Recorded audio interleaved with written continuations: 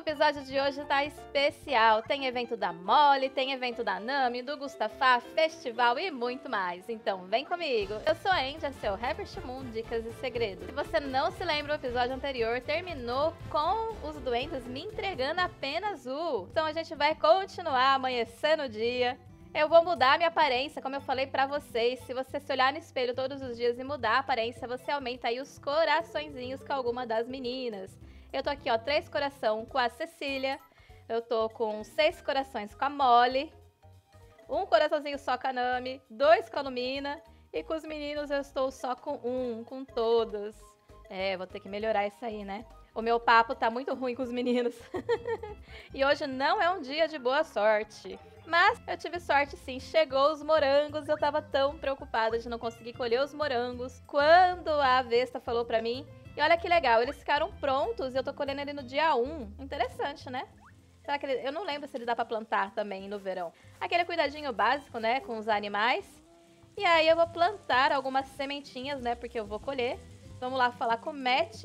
E ele falou pra mim que gostou do que ganhou outro dia. Eu achei muito legal esse detalhe dos personagens lembrar quando você deu um presente pra ele, né?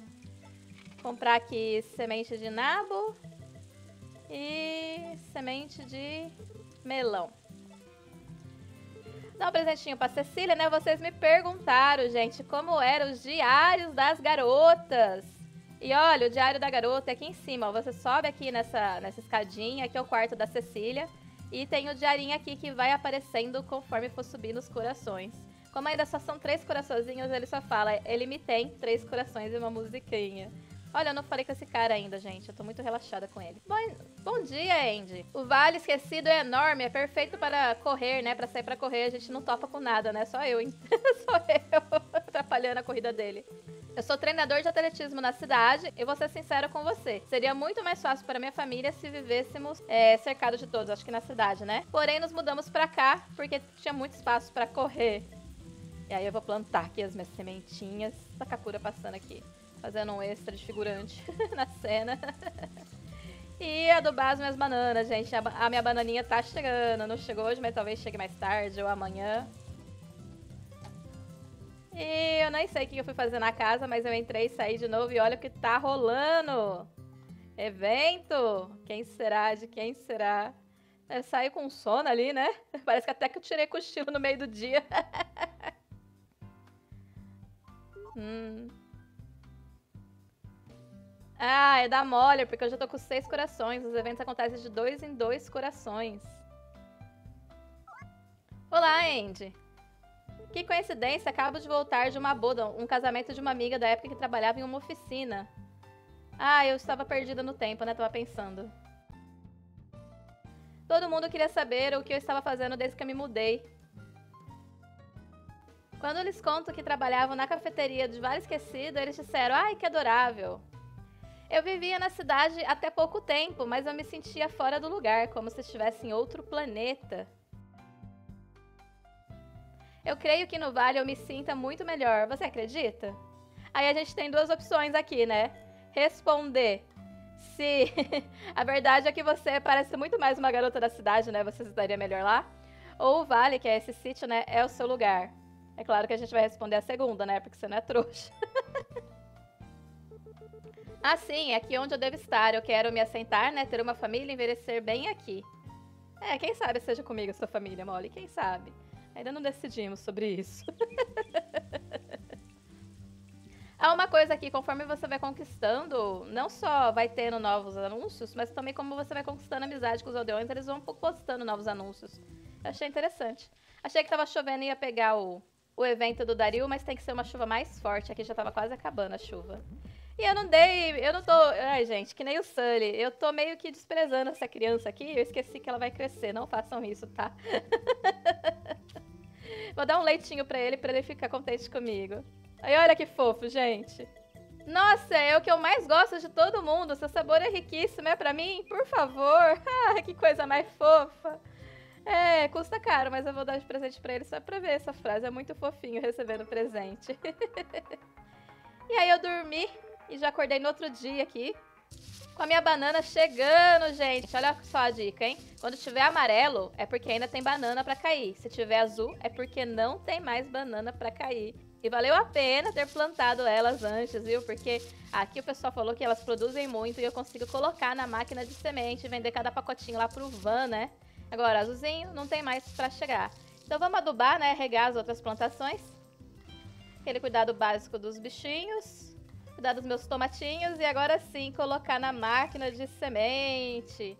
Cada bananinha dessa vai produzir duas sementes. Eu acho que eu vendo 270 saquinhos de semente pro van. Então é uma boa renda aí. E hoje não era meu dia de sorte. Mesmo assim, como eu tinha tempo livre, eu fui pra mina. E olha o que, que eu achei. Um garfo, um talher de ouro que vale mil. Ó, esse buraquinho aqui, gente, ele me deu muita sorte. Toda vez que eu cavei só nele, eu achei coisa legal. Então eu vou insistir nele. Só que é um dos mais difíceis, porque toda hora o Carter passa lá e a Flora nem sempre dá... Fica azul de novo fácil, né? Você acaba perdendo um tempo para se localizar. E saí da mina e o Takakura chegou com o meu novo bichinho. A minha nova galinha, né? Porque como eu tô focada em fazer amizade com os aldeões, eu preciso de mais ovo para dar de presente. E quem pediu para ser o nome da galinha é a Lily, gente. A nossa Lily. Aqui, fanzaça do Herbert for Gears. A foto de perfil dela é até do Herbert for Gears. Seja bem-vinda, Lily, à família. Com isso, a gente conquistou aí a conquista de três aves. E também a minha forragem que eu encomendei chegou, gente. Que é uma comida premium para os animais. De vez em quando é bom você entrar e sair da casa para ver se vai ter algum evento. E o Takakura, eu tô tão solitária, né, com o Takakura aqui. Deixa eu fazer uma amizade com ele, né? Vamos ver o que ele gosta. Ah, ele gosta de sopa de erva, que bom. é barato. E tô saindo da fazenda e acontece uma cena de quem será? Da Nami do Gustafá. Evento dos rivais. Gustafá, olá colega, como você vai? E a Nami não fala nada. ah, o rio traz muita paz, né? Escolher um bom lugar para passar o tempo. O que ocorre? Ela não fala nada. Nada, você precisa de algo? Se precisa, me fala logo. Nossa, Nami. Mustafa, me diga, alguém te incomodou? É, eu não diria assim. Hum. Está, você está ficando um pouquinho vermelha. Você tem febre? Me deixa, vai. Ô, Nami, que grosseira. Ele só tá preocupado contigo. E o Gustavo é maior paz e amor, né? Ah, eu já tô indo. A Nami. Gustafá, ô Nami.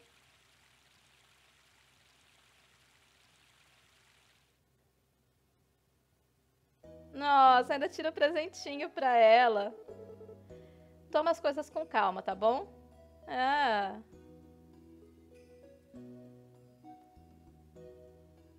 E ela fica sem entender nada. Ela foi super grosseira e dá um risinho ali. Ele foi mó legal com ela. Esse aqui é o evento do rival. Tinha, né, no game antigo. Se você não se casasse, eles se casavam, né, o rival. Só que tiraram o casamento nesse, porém mantiveram os eventos. Pelo menos achei legal ver os eventos. Mas por outro lado, eu fico triste, porque meio que dá uma pena de, de quem você não casou, né? Acho que deveria sim, cada um seguir sua vida aí. Dá uns presentinhos aqui pro, pro Gustafá, né? Porque afinal a gente precisa melhorar o nosso relacionamento com os homens, porque eu só tô dando em cima das mulheres. E essa florzinha aqui que nasce do verão, me falaram para não vender porque eu vou precisar dela depois para fazer os híbridos como... Ah, esqueci o Tartan, né? Acho que mudou o nome dele agora. Vou atrás da Lumina, aproveitar que ela tá aqui embaixo na casa dos gêmeos. Ah, olá! Você deu uma olhada nas petições de anúncio esses dias? Eu publiquei um... Vem cá, Lumina. Oi, Andy, buenos dias. Você também veio visitar os gêmeos? Acho que você não sabe, mas eu e Cole nos damos muito bem. Também me dou bem com Charlie, porém eu me dou melhor com Cole. Ah, eu, ah, eu acho muito legal que ela fala aqui. Eu adoro o que você tem na mão, mas não quero precipitar. Por acaso é pra mim? Ela é muito educada, né? O jeito que ela fala. Também pudera, né? Investa em rios de dinheiro na educação dela. e olha aqui, gente. O gêmeo ele subindo ali na casa.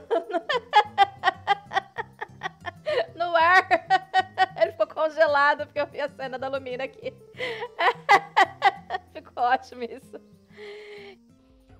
E agora vamos investir no Cord, né? Gente, esse é o pior. Gord, né? Esse é o pior de todos. Você, se você mudar a aparência, não tem, é, não aumenta o afeto com ele. Se você plantar, não aumenta o afeto com ele, aumenta com mate e com a lumina. É, plantar e colher com mate e com a lumina. O Górdio, ele não passa na barraca para dar desconto. Você só consegue aumentar a amizade com ele quando consegue dar um presente que ele gosta. E para isso, você tem que pegar ele andando. Só que acontece que ele fica a maior parte do tempo pensando, parado no lugar. Então, quando ele estiver aí, quando ele for mudar de posição, você já oferece de novo. Vamos ver se mudou alguma coisa? Vixe. Eu tô com sete coração com a Molly. O que acontece? Eu não posso subir mais a afeição com ela, porque se eu ver o evento de oito corações da Molly, eu travo de todas as outras. E eu quero ver de todo mundo. então vou ter que ir com calma aí com a Molly. E as outras, o Matheus dois coraçãozinhos, já melhorou, né? O Rock 2 melhorou de ontem. Vamos investir, vamos investir. Quem sabe os homens também caiam na minha lábia. Cuidar um pouquinho da plantação aqui à noite. Acho que não vai dar tempo porque minha energia tá no talo ali, gente. Vou tentar regar mais um pouquinho, já que me falaram que só desmaia quando o verde acaba totalmente. É, não vai dar. Vou pra casa dormir. Eu esqueci, pessoal. Hoje é dia de festival, Festival dos Fogos. Os gêmeos estão aqui me convidando, falando que a única razão deles continuar com os fogos, né? É porque as pessoas se encantam com esse espetáculo. Aí eles convidam a gente para ir com eles pra praia. Bom, dado que é um festival, você sabe o que significa, né? E aí a gente balança a cabeça que não sabe, não entende. E o Charlie fica bravo pra caramba. Ele fala que a gente é um descabeçado, né? Cerebrado, que não tem cérebro. Era uma oportunidade para pedir alguém, para ter um encontro com alguém, né? Você tem que aproveitar isso. Ah, isso é ótimo. Vamos ver. Eu não poderia ter dito melhor. Agora é o momento de você se achegar com essa pessoa que você tem achado especial aos seus olhos. E aqui aparece uma listinha. As meninas primeiro. E se você quiser ficar com os meninos, é só rodar para baixo, tá? Nesse triângulozinho. E, e aí tem até o festival pro festival por minha conta, mas, gente, Sinceramente, não compensa, né? Vamos ver quem que eu vou chamar, quem que eu quero subir mais rápido. Ah, eu acho que eu vou chamar a Lumina, porque aí eu subo mais rápido com ela e depois eu invisto nos outros. Vamos ver. E elas vêm automático, né? É bom que você não tem que ir lá e voltar. É só chamar que ela aparece ali magicamente. Olá, Angie. Tem, tem vontade de ver os fogos de artifício? Sim, quer ver comigo? Ela fica vermelhinha. Mas gosta da ideia. Seguros que quer ver comigo? Nesse caso será um prazer.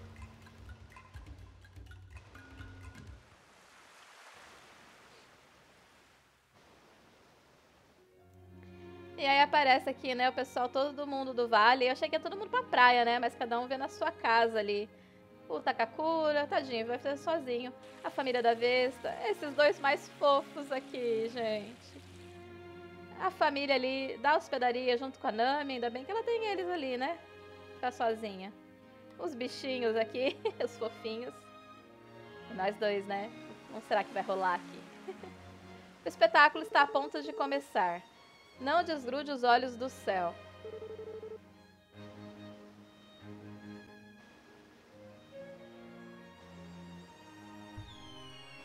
É legal, né? Porque no Harvest Moon você só vê a. No, no, no, Festival de Fogos, você só vê. Você não vê os fogos em si. Achei legal. Os fogos de artifício são algo temporário, né? Algo fugaz, algo que escapa. Não?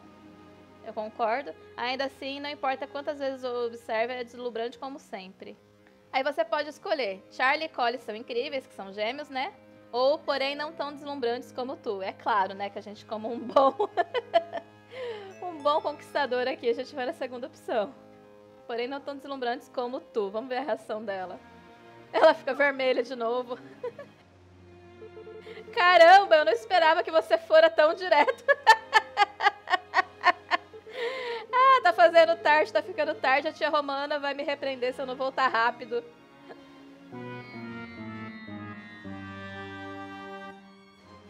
Tenha uma boa noite ainda. Eu, eu fiquei muito bem, né? Me diverti hoje à noite. E sai correndo. Será que ela ficou com medo de beijar ela? Aí eu vi o cabelo aqui de fogo da Nami. Vamos aproveitar que ela tá aqui e dar presentinho também, né?